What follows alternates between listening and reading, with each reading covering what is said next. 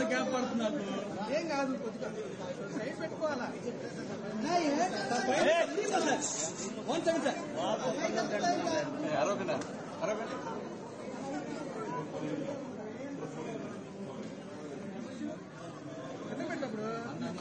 కొద్దిగా గ్యాప్ తీయండి sir gap పడుతుంది. Side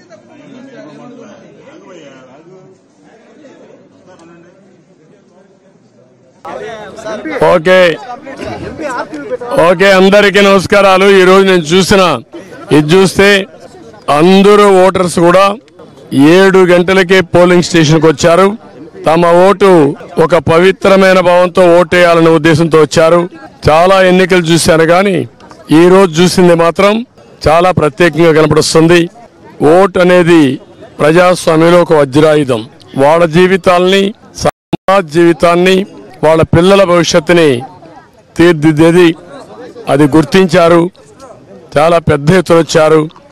రాష్ట్రం అంతా కూడా ఒకటే కోరుతున్నా. ఓటు మీ హక్కు ఓటు మీ జీవితాలను మారుస్తుంది. అదే మాదిరిగా మీ భవిష్యత్తును మారుస్తుంది. మీ పిల్లలే కాకుండా మీ భావితరాల పిల్లలకు కూడా పునాదులు ఇస్తుంది. దయచేసి బాధ్యతగా ప్రతి ఒక్కరూ రావాలి. ఓటు వేసుకోవాలి. ఓటు వేయాలి. తద్వారా మీ యొక్క మనోభావాలు తెలియజేసి రేపు రాబోయే రోజుల్లో ఏదైతే సుపరిపాలన ఉంటుందో ఆ సుపరిపాలనకు నాంది పలకాల్సిందిగా మరొక్కసారి కోరుకుంటూ మరొక్కసారి అందరినీ విజ్ఞప్తి చేస్తున్నా అశ్రద్ధ చేయొద్దండి. ప్రతి ఒక్క వ్యక్తి యొక్క బాధ్యత ఎక్కడో అమెరికా నుంచి హైదరాబాద్ నుంచి లేకుంటే బాంబే నుంచి వివిధ నగరాల నుంచి బెంగళూరు నుంచి చెన్నై నుంచి అనేక నగరాల నుంచి వాళ్ళే డబ్బులు ఖర్చు పెట్టుకుని అభ్యర్థులు తెలియకపోయినా ఒక పార్టీ విధానాలతో వాళ్ళు ముందుకు వచ్చే పరిస్థితికి వచ్చారు. కొంతమంది అయితే పేదవాళ్ళు కూరగాయలు వ్యాపారం చేసుకునే వాళ్ళు ఇక్కడ లేకుండా ఎక్కడో ఉంటే సొంత ఖర్చులు పెట్టుకొని క్యారియర్ పెట్టుకొని నేరుగా వచ్చి వాళ్ళ గ్రామంలో ఓటేసుకునే పరిస్థితికి వచ్చారు. ఇది నా జీవితంలో ఎప్పుడు చూడలా. ఇది నిజమైన ప్రజాస్వామ్యం. ప్రజాస్వామ్య స్ఫూర్తికి ఇది నిదర్శనం. అందరినీ మరొక్కసారి అప్పీల్ చేస్తున్నా ప్రతి ఒక్కరూ రండి మీ ఓటు హక్కును ఉపయోగించుకోండి. ఏ వ్యక్తి కూడా నేను చూశాను వికలాంగులు వృద్ధులు నడవలేని వాళ్ళు వీల్ చైర్లో వచ్చి ఇది నా బాధ్యత నేను ఓటేస్తానని చెప్పినప్పుడు నాకు చాలా ఆనందం కలిగింది ఒళ్ళంతా పులకరించే పరిస్థితి వచ్చింది. ఇది వినూత్నమైన అనుభవం. అందరికీ మరొక్కసారి అభినందనలు. ఎలక్షన్ కమిషన్ కూడా ఎప్పటికప్పుడు కంప్లైంట్ చేశాం. ప్రాథమికంగా మాకు పొంగునూరు వచ్చింది మాచర్లో వచ్చింది. రెండు దిక్కల్లో వస్తే అప్పటికే నేను కంప్లైంట్ చేశాం. అధికారులతో మాట్లాడుతున్నాం. అదే మాదిరిగా ఎలక్షన్ కమిషన్ కూడా అప్రోచ్ అయ్యాం. నేను ఒకటే ఎక్స్పెక్ట్ చేస్తున్నా ఎలక్షన్ కమిషన్ ఆధ్వర్యంలో ఎలక్షన్ జరుగుతున్నాయి.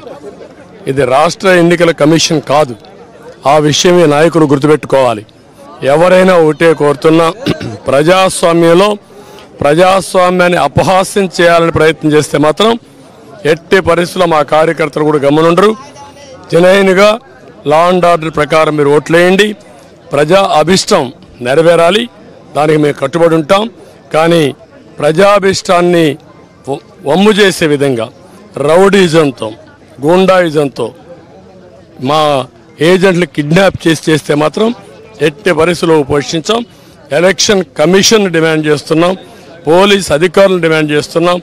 ఎక్కడా అవాంఛనీయ సంఘటనలు జరగకుండా కాపాడవలసిన బాధ్యత మీది. ప్రతి ఒక్కరి వ్యక్తికి స్వేచ్ఛ ఉంది. స్వేచ్ఛగా ఓటేయాలి. ప్రతి ఒక్క రాజకీయ పార్టీకి స్వేచ్ఛ ఉంది. వాళ్ళ ఏజెంట్లు పెట్టుకునే హక్కు ఉంది. వాళ్ళ ఏజెంట్లు అలో చేయాలి. మీరే ప్రొటెక్ట్ చేయాలి. అది మీ బాధ్యత. నేను నలభై మూడో ఓటు వేసాను అంటే నేను వేసే కొంది నలభై మూడు మంది వేసారు ఒక బూత్లో. అంటే పది పర్సెంట్ ఓట్లు వేసేసారు ఇప్పటికే. నేను పోయే కొందికి. క్యూలో అయితే చాలామంది ఉన్నారు. అంటే ఊర్లు ఊరు కదులు వస్తున్నారు ఏదైతే ఓట్ల పండగ అనుకున్నావో ఆ ఓట్ల పండగ కనపడుస్తూ ఉంది. ఇది ప్రజాస్వామ్య వేడుక.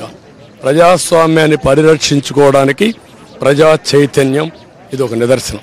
I don't want talk Now election is uh, going on. Here is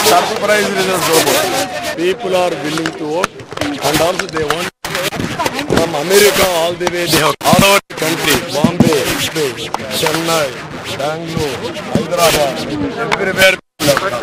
Able, vegetable vendor, labor, they have come with their own expenditure.